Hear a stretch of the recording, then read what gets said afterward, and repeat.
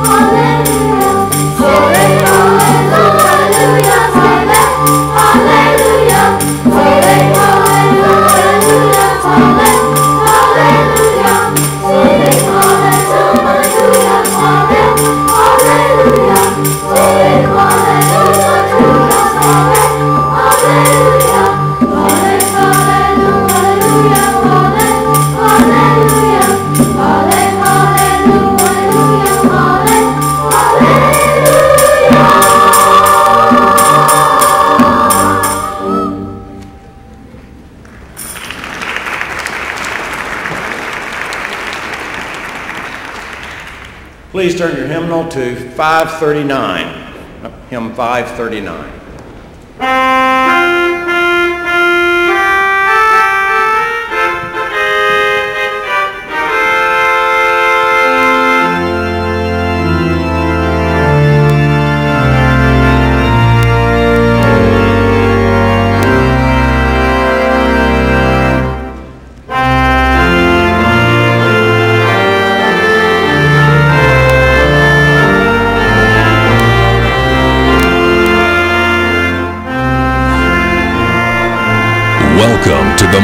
Worship service of First United Methodist Church in the heart of Wichita Falls. Children, youth, and adults find new hope and meaning in life through a relationship with Jesus Christ and the many activities at First United Methodist Church. Thanks for joining us today in our beautiful sanctuary at 10th and Travis, the heart of the city of Wichita Falls.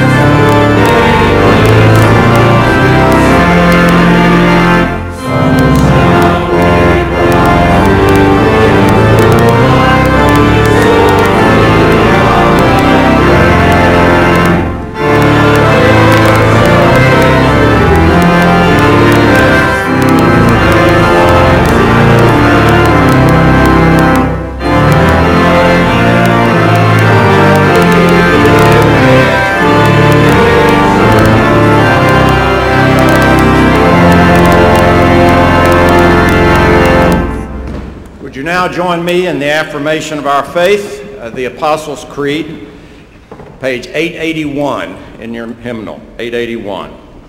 Please say it with me. I believe in God the Father Almighty, maker of heaven and earth, and in Jesus Christ, his only Son, our Lord, who was conceived by the Holy Spirit, born of the Virgin Mary, suffered under Pontius Pilate, was crucified, dead, and buried.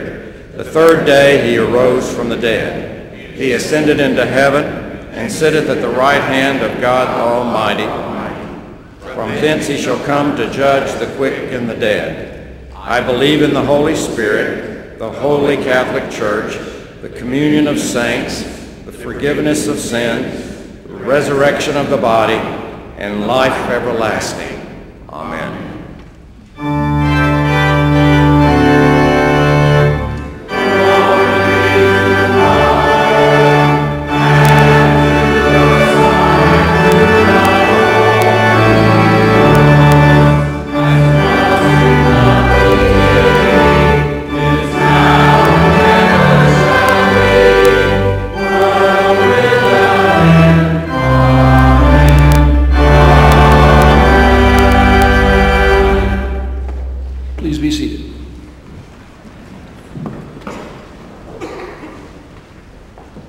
Join me in the congregational prayer printed in your bulletin. Let us pray.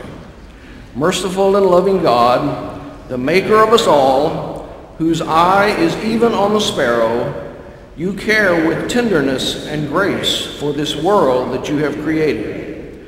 We pray that through your loving spirit, you would renew your people and your entire creation and make us whole once again. We praise you for sending your Son, Jesus Christ, to bind up our brokenness and to heal our wounded spirits. Enable us to be faithful followers of Christ, that we may be the true body of Christ in the world. We pray in the holy name of Jesus Christ. Amen.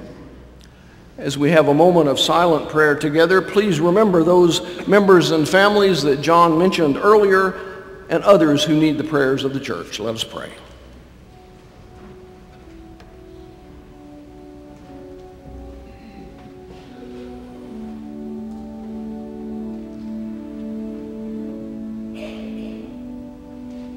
Eternal and gracious God, we dare to approach you in prayer because you have promised to be with us when we gather in your name.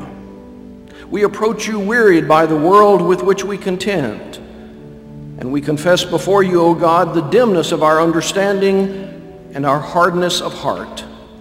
Forgive us our separation from you and our callousness toward one another. Lord, we praise your mighty name for the strength of your word and the power of your grace. We thank you for that portion of your truth we comprehend and for that mystery of the gospel beyond our comprehension. Most of all, we express gratitude for your word made flesh, Jesus the Christ. Dear Lord, we are especially thankful today for those who have made this lecture series possible and for this one who is to lead us. We're grateful for his life and his faith and his witness. Speak through him the word most needed and make each of us open and receptive to your word for our lives. Bind us together in a shared faith, a common witness, and compassionate service to the world. Through Jesus our Savior, who taught us to pray, saying together, Our Father, who art in heaven, hallowed be thy name. Thy kingdom come, Thy will be done on earth as it is in heaven. Give us this day our daily bread, and forgive us our trespasses, as we forgive those who trespass against us. And lead us not into temptation, but deliver us from evil. For thine is the kingdom, and the power, and the glory forever. Amen.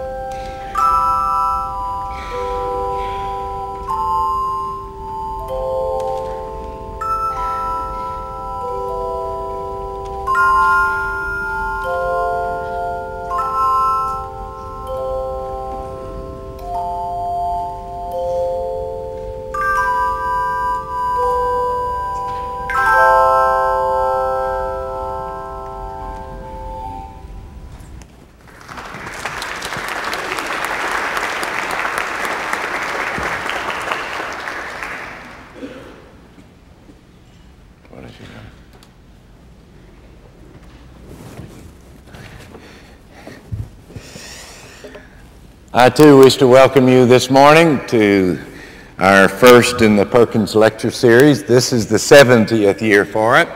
We're glad that you are here, both member and visitor, as well as those who are watching us on television this morning.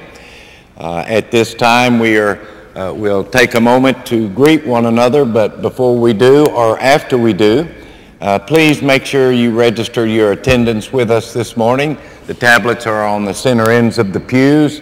Especially let us know if you have any change in your address, email, or phone numbers. But at this time, we do have uh, uh, some folks visiting with us, so seek out somebody you don't know, and you might meet a member who's been a member here for 20 years, or you might meet somebody that this is their first Sunday. So let us stand and greet one another in the name of Christ. I knew I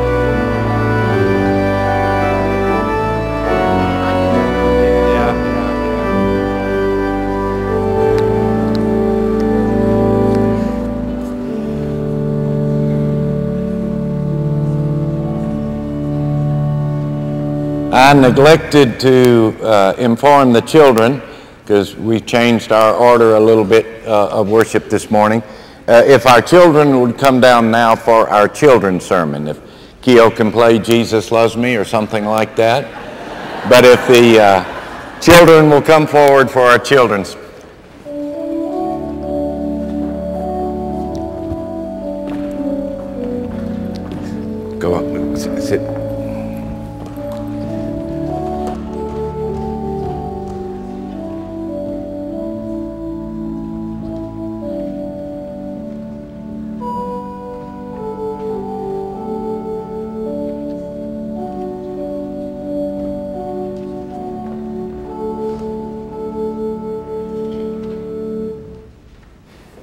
How is everybody this morning? Y'all, uh, some of you look like it's Easter. Y'all are so dressed up and look so nice and pretty. Uh, I've got one, two, I think I've got four questions that uh, I want to ask you. Number one, uh, who can tell me where we are right now? Mm, where are we? We're in church. That's right. All right. Now, who can tell me, if anybody, how old is this church? How old? How many? 50? Pretty good guess. Yes, sir. 165? Yeah. You may be confusing the church with John. I, I, how- William? Since 1943. No, we're older than that. Nope, not 500. The, the Christian church is like 2,000 years old, but not, not this church. All right, I'll tell you. This church, I believe, is 131 years old. And you were close, that's right. And this building was built in, uh, I believe it was 1920, 21, 1927. So uh, your homework assignment is to figure out how old this building is. All right? Who will tell me why you're here? Why are you here? To learn about God, good. To learn about God.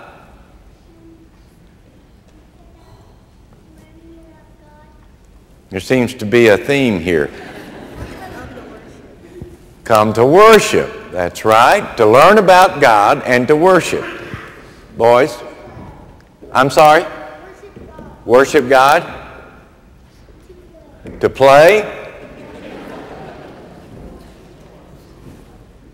Worship. That's right. Uh, okay, we're here to worship. We're here to uh, uh, learn more about God. We're here to pray. We're also here. There's nowhere in the Bible that says you can't have fun. We're here to have fun and fellowship. One last question Who is the church? Who is the church? This is God's house. Who is the church? No. No.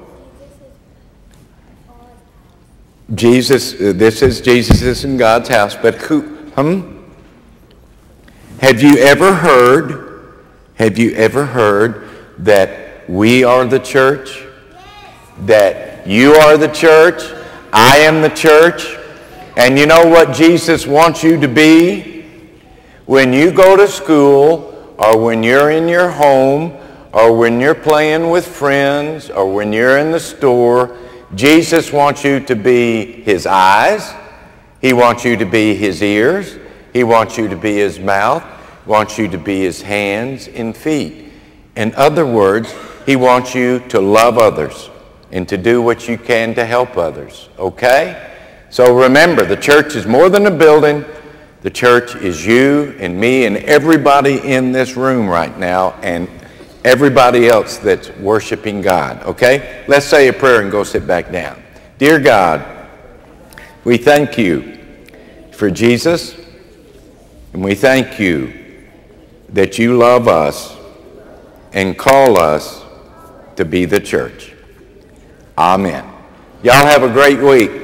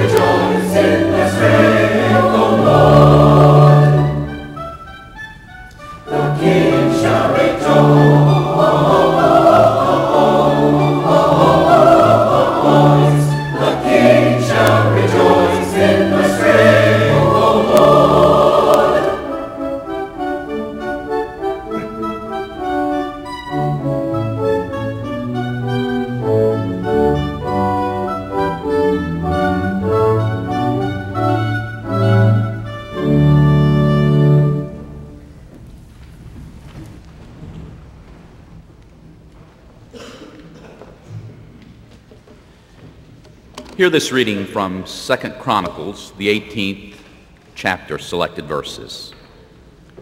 Now Jehoshaphat had great riches and honor, and he made a marriage alliance with Ahab. After some years, Jehoshaphat went down to Ahab in Samaria. Ahab slaughtered an abundance of sheep and oxen for him and for the people who were with him, and induced him to go up against Ramoth Gilead. King Ahab of Israel said to King Jehoshaphat of Judah, Will you go with me? He answered him, I am with you, for my people are your people. We will be with you in the war. But Jehoshaphat also said to the king of Israel, Inquire first for the word of the Lord. Then the king of Israel gathered the prophets together, 400 of them, and said to them, Shall we go to battle against Ramoth Gilead, or shall I refrain? They said, Go up, for God will give it into the hand of the king. But Jehoshaphat said, Is there no other prophet of the Lord here of whom we may inquire? The king of Israel said to Jehoshaphat, There is still one other by whom we may inquire of the Lord, Micaiah, son of Imlah. But I hate him, for he never prophesies anything favorable about me, but only disaster. Jehoshaphat said, Let the king not say not such a thing. Then the king of Israel summoned an officer and said, Bring quickly Micaiah's son of Imlah. The messenger who'd gone to summon Micaiah said to him, Look, the words the prophets with one accord are favorable to the king. Let your word be like the word of one of them and speak favorably. Uh, but the prophet said, As the Lord lives, whatever my God says, that I will speak. And when he'd come to the king, the king said to him, Micaiah, shall we go to Ramoth Gilead to battle, or shall I refrain? The prophet answered, Go up in triumph. They will be given into your hand. But the king said to him, How many times must I make you swear to tell me nothing but the truth in the name of the Lord? And then Micaiah said, I saw all Israel scattered on the mountains, like sheep without a shepherd. And the Lord said, These have no master, let each one go home in peace. The king of Israel said to Jehoshaphat, Did I not tell you? that he would not prophesy anything favorable about me, but only disaster. This is the word of God for the people of God. Thanks be to God. It's my pleasure to introduce to you the 68th lecture, or the 67th lecture in uh, the 70-year history of the Perkins Lectures at First United Methodist Church of Wichita Falls. As I have read many of the names who have spoken in this lecture series before in its 70-year history, I am aware that when I read those names, I'm reminded of both theological and biblical scholars who have had a great impact on Christian thought and on the education of persons for Christian ministry. There have also been some of the country's finest preachers who have spoken in this lecture series at the First United Methodist Church in Wichita Falls. Yet in all of that 70-year history, never before has the dean of Perkins School of Theology been the Perkins lecturer at First United Methodist Church. No dean of Perkins in its history in this lecture series. And as Joe and Lois Perkins so generously gave to Southern Methodist University a gift for the School of Theology, which then began to bear their names, how fitting it is that the Dean of Perkins School of Theology speak this day at First United Methodist Church. Dean Lawrence assumed the position at Perkins in August of 2002, and de- during his tenure, I've been privileged to serve as the chair of the Executive Board of Perkins School of Theology, thereby giving me a front row seat into some significant milestones in the School of Theology's life. Uh, one of which I had a great interest in, and that was the renovation and the construction of new buildings, especially Elizabeth Perkins Prothro Hall, in which so many academic settings then were created for the education and the formation of students, men and women for Christian ministry. Bill brings commitments not only to theological education, but also to the United Methodist Church. Passions and commit- commitments which I share with him. He's taught and served at three other United Methodist schools of theology or seminaries, Candler School of Theology at Emory University in Atlanta, Duke Divinity School, and Wesley Theological School of Theology in Washington, D.C. He also, his last appointment as a minister was as the pastor of the Metropolitan United Methodist Church in the District of Columbia, known as the National United Methodist Church. Currently, he serves as SMU's liaison to the United Methodist Church. He's a president of the Judicial Council of the United Methodist Church, and he is a man who's committed to the Christian faith. With him this morning is his wife Naomi. Uh, they are the parents of two sons, and they have four grandchildren. So it's with my It's a deep honor that I present to you and welcome Bill Lawrence as the lecturer the Perkins Lecture at First Methodist Church of Wichita Falls. Welcome, Bill.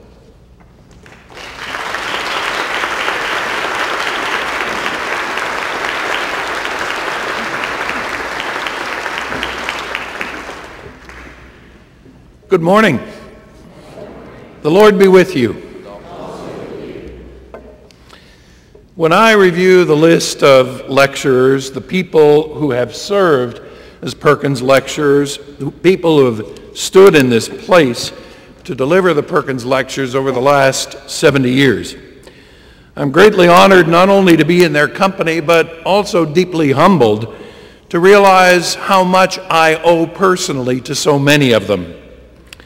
This is the oldest and finest lecture series of its type in the country.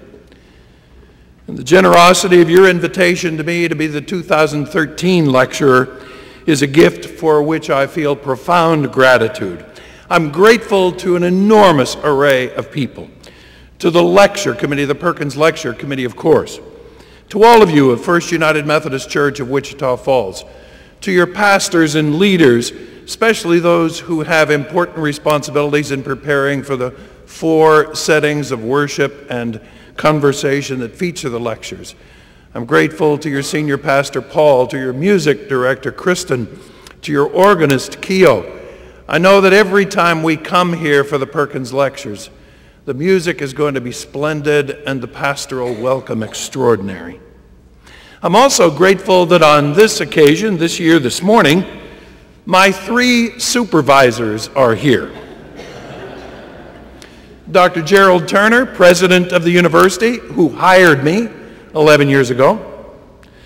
Bishop Mike McKee, who I hope will, for the 12th year, appoint me to be the dean of Perkins School of Theology. And my wife Naomi, who married me 44 years ago.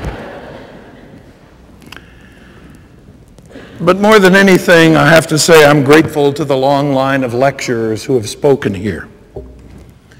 Madeleine L'Engle was here in 1996. By my count, she was the only one of the Perkins lecturers in 70 years who was neither a preacher nor a professor nor both. But what a great source of inspiration she was through her writings. She wrote books that we have given to children. She wrote books that I have found inspiring as an adult. Edmund Steimle lectured here in 1974.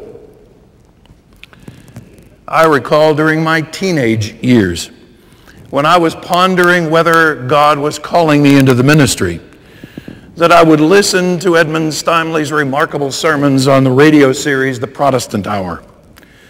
And I realized that great preaching like his happened when a preacher spoke with a power of quiet grace. A decade later, I went to seminary in New York, and I realized that Edmund Steimle was to be one of my teachers. So I enrolled in one of his courses, and that's when I discovered that Dr. Steimle preached with quiet grace, but was a severe critic of his students' efforts. In what became two semesters with him, I realized that a really great teacher is one who tells the truth to students whether they want to hear it or not. And I realized from him that we can learn a great deal through quiet grace, but perhaps a lot more through a critique that tells the truth. Ralph Sockman was the lecturer here in 1960. Before people ever used the term megachurch, Ralph Sockman had built one in the middle of New York City. Christ Church Methodist hosted thousands of people for worship every Sunday, in addition to the millions who heard Dr. Sockman every week on the radio. He had amazing pastoral gifts. I have talked to people who recall meeting him once and years later, they could encounter him on the streets of New York, and he'd look at them and call them by their first name. I met Dr. Sockman when I was an undergraduate. He came to our campus to discuss values and choices. What I expected to see was a superstar minister. Instead, what I saw and heard was a man of faith talking from his heart as a pastor. He discussed with us a funeral that he had conducted just before traveling to our campus. That day I learned from him that effectiveness in ministry, whether one serves a megachurch or a mini church, depends on one's having the heart of a pastor. I suspect that just as the list of lecturers is important to me personally, it also has private significance for you. Some, I'm sure, brought messages that touched you at a trying time. Some gave lectures that led you to new insights about faith in Christ. Some, I'm certain, lifted your souls, and perhaps one or two lulled you to sleep. But let's not restrict ourselves to private feelings or subjective reactions. It's always risky to limit our perceptions of the faith and our perspectives on Scripture to what we think personally or how we feel privately. It's always a mistake to do that, and the Bible itself shows us why. Take that episode in this morning's reading from Second Chronicles where King Ahab said he really did not want to consult the prophet Micaiah. Because Micaiah never had nice or favorable things to say about him. Well, at least Ahab was honest. He was interested less in the truth of God's word than he was in feeling good about God's word. But the Perkins lectures exist so that we can focus on finding the truth of God's Word. Just think about the situation when the Perkins Lectures began 70 years ago. The whole world was at war. The Nazis were in control of Europe. It would be more than a year after the Perkins Lectures began here in this space. More than a year until MacArthur could keep his promise and return to the Philippines. The war was raging, and in 1943, nobody knew what the outcome would be. In the spring of 1943, nobody could know the truth of what the world was going to face. It was a terribly troubling time for the church and the world. In the same era that the lectures began, Joe and Lois Perkins also gave a great gift as Bishop McKee has said, to the School of Theology at Southern Methodist University. I'm convinced that those two acts, creating the lecture and endowing the School of Theology, were really part of a single sign of the tremendous acts of generosity, but even more than that, the tremendous sense of courage and purpose with which Joe and Lois Perkins did those things. The opening words of the statement that accompanied the gift to the School of Theology said that their vision in endowing the school was nothing less than, and I quote, the future peace of the world, end quote. The first of the lecturers who came here was Roy L. Smith, a man who had served the church in numerous ways pastor, denominational executive, delegate to some difficult general conferences of the church. One of them was in 1939 when Methodists decided to reunite northern and southern branches of the church that had split 100 years earlier over slavery. He was a delegate to the General Conference when the church decided that in order to accomplish that reunion, we would have to create a racially segregated denomination so that black and white Methodists wouldn't have to be connected to each other in one church. Just think how uncertain was the mood, how fearful was the world, how troubled was the time in 1943 when Dr. Smith spoke here. Pearl Harbor had been attacked just 15 months earlier and the stench from its smoking ruins was still clinging to Americans' nostrils. In 1943, there was no clarity at all about how the war was going. All that anybody knew was that nearly every able bodied young man and a whole lot of young women were going into it. Thousands of Methodist churches like this one were posting bulletin boards in their fellowship halls and Sunday school rooms with the names of members who were in uniform at domestic training bases all over the country, at battlefronts in North Africa, or in posts in Europe or the Pacific. And next to some of them, some of those names were gold stars, lest anyone needed reminding that some of the people with those names would never return. In 1943, when the Perkins lectures began, Northern and Southern Methodists barely had time to become acquainted with the idea of being, re- being reunited. In 1943, when the Perkins lectures began, black and white Methodists had barely been able to ponder what it meant to be divided by race. The nations of the world were tearing each other asunder. Germans were being told that their fellow citizens who were Jews or homosexuals or the disabled could not be tolerated. And Americans were being told that our fellow citizens who had Japanese ancestry could not be trusted.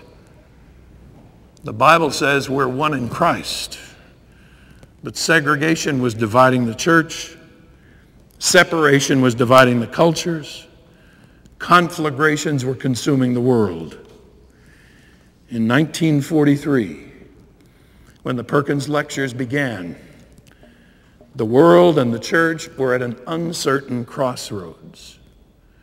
And they faced that crossroads with the experience of the decade just behind them, a decade of what journalist Timothy Egan calls the worst hard times. It was the Dust Bowl of the 30s. Through the Great Depression, people in the middle of America had grown desperate and were dying. A woman from West Texas whose husband had died of dust pneumonia, as it was called, was trying to live as a widow with her children in an underground shack so they could escape the blowing topsoil over top of them. But her plight was hopeless. And she just kept shouting, God help us, God help us. It reached the point where a judge took her children away from her and committed this West Texas woman to what was called an insane asylum that was located right here in the city of Wichita Falls. Into that situation, with the lingering effects of the Depression and the looming uncertainties of war, the truth had to be told. Not the truth about how bad it was in what looked like a dying world, but the truth about a living faith in a living God through a living church that had good news to offer to the dying world. So Lois and Joe Perkins did what from my reading seems to have been characteristic of them.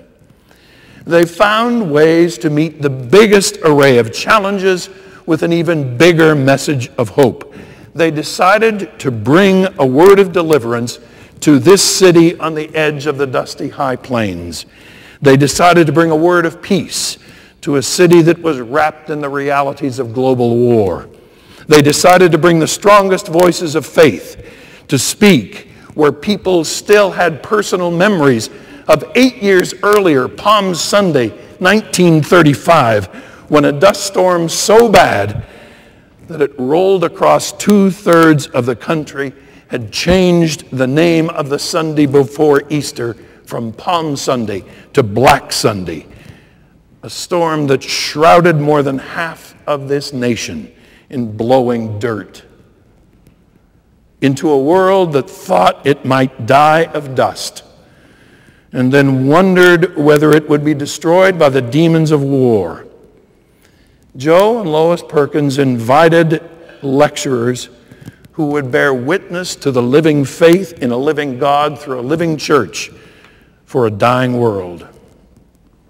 So into this pulpit stepped Roy L. Smith, nationally known Methodist minister whose mission was just to tell the truth. The only way to be delivered from the Great Depression and the only way to win freedom from fear in a time of greater war is to tell the truth. After all, Jesus had promised, You shall know the truth, and the truth will set you free.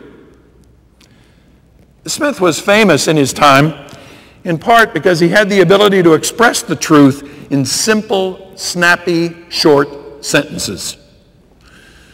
Among other things, he said, more people are troubled by what is plain in Scripture than by what is obscure. That may be one of the most basic and insightful things ever said about the Bible. There is plenty in the Bible that is just too obscure, of course. Many of us have our doubts about the plausibility of Moses opening the Red Sea with a staff in his outstretched arm.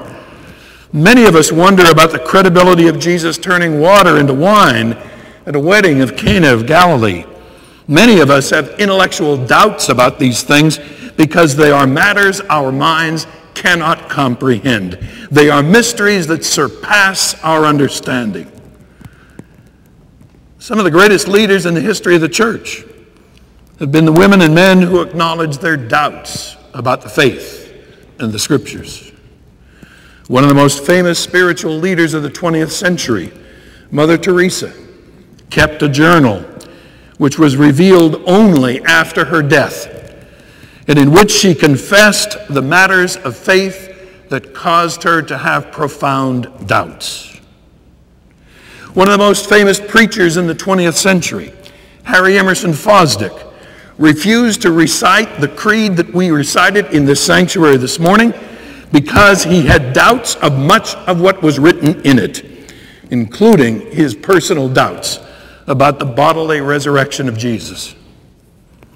When Fosdick was faced with having to decide whether to accept an invitation from the wealthiest man in America, John D. Rockefeller Jr., to become the pastor of the Philanthropist Church, Fosdick told Rockefeller that he did not want to be the pastor of the richest man in America. And in reply, Rockefeller said to Fosdick, are more people going to be upset with you about my wealth than are going to be upset with me about your theology? We all have doubts about things that we do not understand in the Bible. But relatively speaking, those things are easy to manage. The hardest stuff in the Bible is not what we find obscure the hardest stuff in the Bible is what we know to be true. The toughest things in the Bible to swallow are the things that we know are the truth. We know that Jesus said we should love our neighbors as ourselves. That's not obscure. We know what Jesus tells us to do, we just don't want to do it. Or at least, we don't want to have to love all of our neighbors. There's a neighbor of ours whose dog regularly leaves a steaming pile on the landscape lawns. I'm not going to love him until he learns to take better care of his pet. There's the neighbor who uses the same medical doctor that I do. She knows she's not supposed to use her cell phone in the waiting room. There's a sign right on the wall. But there's sick people in that waiting room who don't need to overhear her personal or professional business in the conversation. I'm not going to love her until that phone runs out of battery power. And what about the neighbor who crosses the border illegally? Or the neighbor whose children bullies our children, or the neighbor who has a felony conviction for sexual misconduct. The truth is that we know Jesus said we have to love our neighbors as ourselves. We understand his words. We know what he meant. It's just that there are some whom we cannot possibly bring ourselves to love. We understand what Jesus said. We just wish he hadn't said it. Which brings me back to the scripture lesson this morning about a rather obscure fellow named Micaiah. That's Micaiah, not Micah, the prophet who managed at least to get a little book of prophecy in the pages of the Old Testament. This Micaiah has only one brief moment in the whole Bible, although the story is good enough to be repeated twice, once in 1 Kings, once in 2 Chronicles. It's a story about the political intrigue between two kings, Ahab of Israel, Jehoshaphat of Judah. Through an arranged marriage that linked their families, they formed an alliance. The question of the moment was should they join forces militarily and go to war against a common enemy? King Ahab clearly wanted that to happen. He welcomed King Jehoshaphat and staged a huge feast for him and his entourage. Jehoshaphat, as pleased as he was with the food and the wine and the fellowship, said before he fully agreed to enter into a military alliance, he wanted to get a word from the Lord. Ahab was ready. He had previously lined up 400 prophets to declare that such a war would be the will of the Lord. Jehoshaphat was impressed but said, Have you got any other prophets besides these 400? Well, there is one, Ahab said, a prophet named Micaiah. But Ahab said of Micaiah in one of the greatest texts in the Bible, I hate him. He never prophesies anything favorable about me, only disaster. But Ahab knew he had no choice because the request had come from Jehoshaphat. So Ahab ordered that Micaiah be consulted, and after a bit of hesitation, Micaiah told the truth. He told King Ahab that the word of the Lord was not to enter into the military alliance, not to go to war, or he would be defeated. But by this point, Ahab had already decided that he perverted, he preferred his own ideas to God's truth. So he put Micaiah in jail and led his troops personally into battle, which is when it became clear that Micaiah had told him the truth. Ahab's army was defeated, and Ahab himself was mortally wounded in the fight. It's a strange thing how often people of faith have resisted the word of the Lord when His Word does not fit our preferences or our prejudices, we do what Methodists did in 1940 and create a racially divided church. If we're not ready or willing to heed God's word of truth, we set it aside or work around it. After all, there are some neighbors we're not ready to love. There are some outcomes we'd rather not occur. There are some results we wish we did not have to accept. King Ahab was hardly the only person of faith who preferred his own tactics to God's truth. And all that it cost him was his kingdom and his life. Sometimes our own prejudices cloud our eyes, confuse our ears, and keep us from trusting the truth of God. But here's the question how, in God's name, can we know what is the truth? Jesus was not making an empty promise when he said, You will know the truth, and the truth will set you free. He was making his power available to us all. That's the thing about opening ourselves to the truth of God. It puts us in touch with the power of God. And what I want to offer this morning is a chance to put ourselves once more in contact with the power of God. In my lifetime, I have been at three places of great power. One of them is a place that you can never go. One of them is a place I hope you never have to go. And one of them is a place that I hope at least some of you someday will get to go. I've been to a place of great power where you can never, ever go. It's at the site of the last job on which my father, my late father, worked before he had to retire on disability. My father was an eighth grade dropout who'd become an apprentice plumber and who then, after he returned from service in the Pacific in World War II, became a foreman on major construction projects.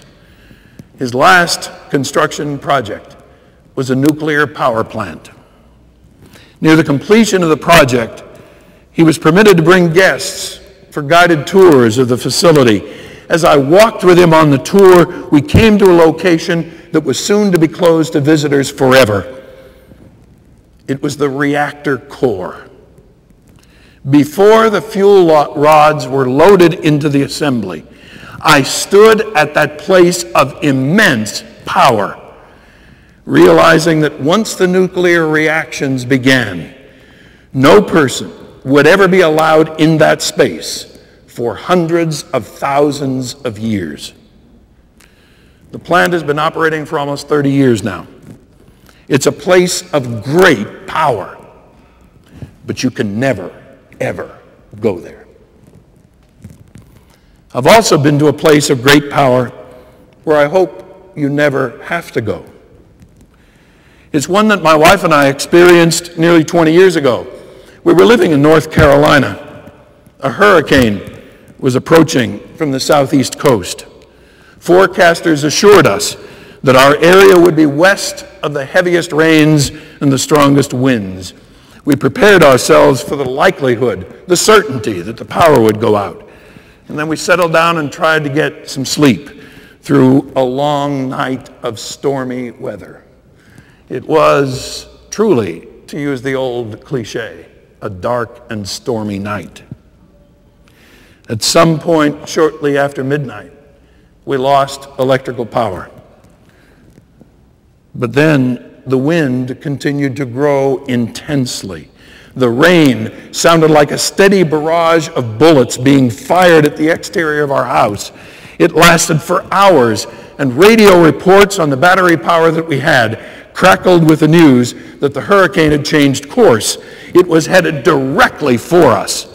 And the only option then was to take cover in whatever way we could and endure the battering through the night. We heard things outside exploding and snapping and crashing. And then, about 4.15 in the morning, suddenly, everything got quiet. The wind eerily stopped. The rain began to fall as a gentle mist. That lasted for 45 minutes until the wind picked up again, but came less intensely and from the opposite direction. And that's when we realized we'd been in a place of great power. We had been literally in the eye of the storm. In dawn's early light, we could see huge trees that had fallen, blocking the roads in all directions. We could see other trees that had crashed through and smashed the roofs of our neighbors' homes. And we could see that although our house was mostly unscathed, we had been in a place of great power. I hope you never have to go there. I've been to a place of great power where you can never go. I've been to a place of great power where I hope you never have to go. And I've been to a place of great power where I hope that at least some of you someday are willing to go. It was a place just like this one a Methodist church, a chancel rail. I was kneeling, surrounded by a group of clergy whose arms were outstretched over my head and whose robes encircled me and enfolded me like a tent. It was an ordination service when I heard a bishop say that I'd been given authority to administer the sacraments and preach the word. The altar of a church is a place of great power. One day, you should go there. if you're willing. Not necessarily to be ordained into the ministry, but simply to allow yourself to be in touch again with the power of the truth of God that can set you free. I recall such a moment in one of the Methodist churches that I served, many miles from here. A member of the congregation had become involved in an extramarital affair. It eventually led to the end of her marriage, and it left her with a burden of great guilt. The more she counseled with me, the more I realized there was nothing I could offer in the way of healing. But I knew where the power was. So I asked her to write a prayer of confession. I asked her to confess everything. And then we met in the sanctuary of the church at the altar. She knelt at the rail. I knelt on the other side. And she read aloud her confession in the space where only God and I could hear it. Once she faced the truth, she could feel the power of forgiveness. The power of a living faith and a living God through the living church is available when we offer the truth to a dying world. Someone comes forward seeking the sacrament of baptism, and we touch the power of God through cleansing water. Someone lifts open hands to receive the bread and cup of Holy Communion, and we touch the power through simple elements that tell a sacred story. Someone confesses the truth to the world, and by the power of the Holy Spirit, we bring a living faith in a living God through a living church to a dying world. And that truth is enough to set us free. Amen.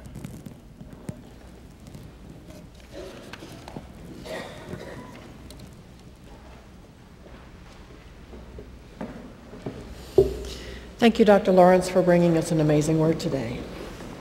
I ask the ushers to come forward now as we receive our tithes and our offerings. Would you pray with me, please? Creator God, the God of justice, the God of all of our neighbors, we take this time, Lord, today to share the bounty that you have given us so that all of our neighbors might be blessed by that fact. Amen.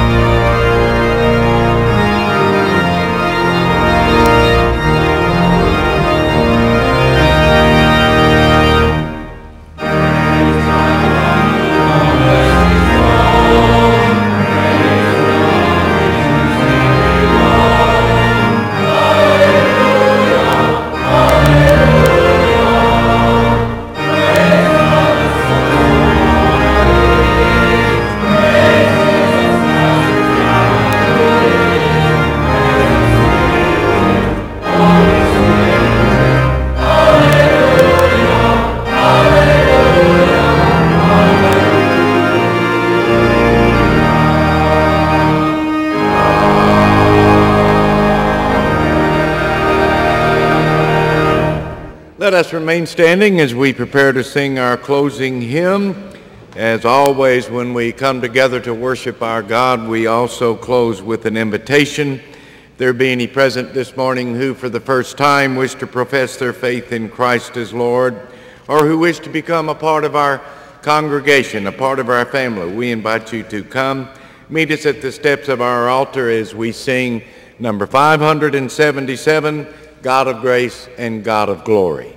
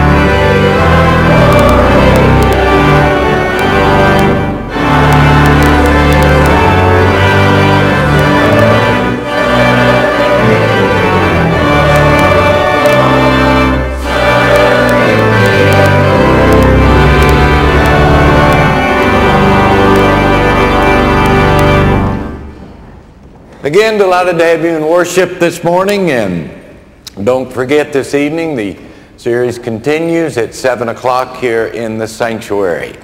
Now let us join together in our benediction. Go into the world with faith. Go into the world with hope. Go into the world with love. Amen and amen.